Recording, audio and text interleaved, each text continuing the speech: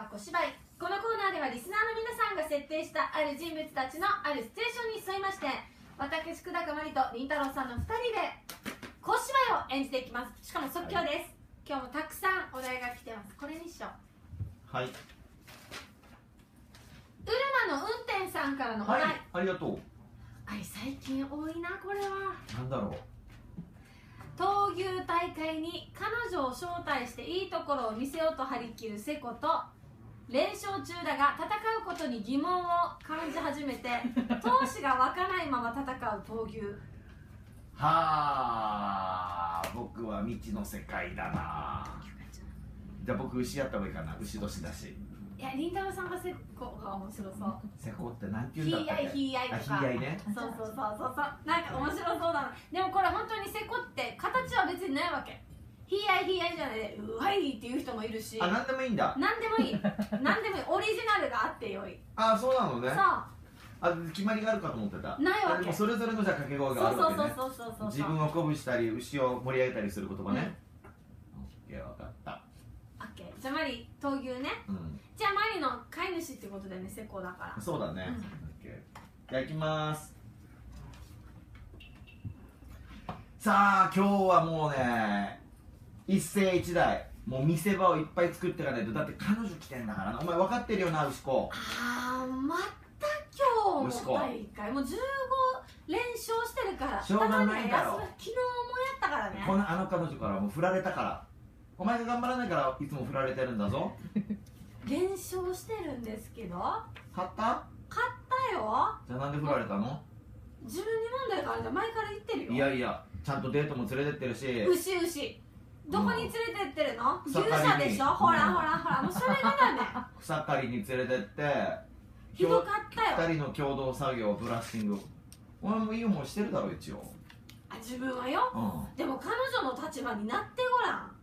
あ彼女も喜んでる人なんで動物好きだよ。動物好き、うん、うん、彼女が言ってたのは。犬飼って犬るうん。犬。ちっちゃいのねチワワ。お前ちょっとお前の方が可愛いよでも。俺的にはお前の方が可愛いと思ってる。あまあそれは感じてはいるよ、うん。でも自分にの愛情。はっきりよ。重い。は？重い。おこんな言われ方すると思わなかった。一応まあ今お日も前の面倒見るために夜勤がある仕事も辞めたんだぞ俺は。だからもうこの愛情重いからだ今日来てる彼女ああれね。そうそであっちにちょっと思い言ってほしい、ううん。きついよもきつい。うもうこんな傷つかないで。あいやいやいやもうでもそそんなこと言われても頑張るよ。今頑張る日呼んであるからもうやらないといけないよこれ、きついって言われてもそんなことも通らないからね。じゃあはい、はい。試合開始ね。はい。よーい。ドン。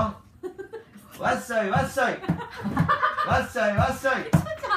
わっしょ気持ちが全然乗らない。いえ？わっしょいで乗らないの？ワッショイはお祭りさあそっ前からか、言ってるようんこれで乗らないの？昨日は go go let's go だった、うん。今日だから変えてみたよわっしょいわっしょいだからもうちょっとだから気持ちが乗るのにして。あそうなの？昨日よくあれで勝てたなって。うん。鬼太郎に言われたからね。あそっか。あ go go let's go 鬼ね。ちょっと笑われたからね。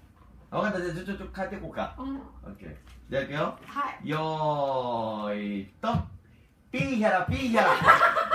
ピーヒャラピーヒャラ ピーヒャラピーヒャラちゃちゃピーヒャラ彼女が見てるよ。ああ手振ってる。あれ？み見てよ対戦のセコもちょっと怒ってるよ。バカにしてる。からピーヒャラじゃないでしょ。なんかもうちょっとかっこいい闘志が湧くような。あそうなんだ男らしさを見せつけるみたいなのがあるでしょ。あ分かった。ちょっとあれだな。濁音入れていこオッケーオッケー。オッケーオッケー。よーいとずんどこずんどこ。ずんどこずんどこずんどこ。ずんどこいい感じさっきよりいい感じさっきよりいい感ずんどこずんどこじよーし行くぞあれ帰ったんじゃ彼ない女いなくなってるほらお前のせいだピーヒャラが悪いよ闘牛でも好きな女子結構いるっていうからね今ね。いっぱいいる。ね、うん。闘牛場もだから雰囲気変わってるかもね。そうそう増えてきてるよ女子の人たちも。見てみたいな。一回ほら僕たちが命名したさうん。鬼 RBC とあとキラキラね。ああ見に行きたい、来たいよね、うん、オミから連絡うん待ちしてます、ね、教えてもみ。うん。闘牛はやっぱ一回見てた方がいいよね。見てた方がいい。ね。圧倒されるよ。ぜひぜひぜひ、ということで、まあ、ちょっと今回ね恋は成就しませんでしたけれど。そうだよ。闘牛のせいにしちゃダメだぞ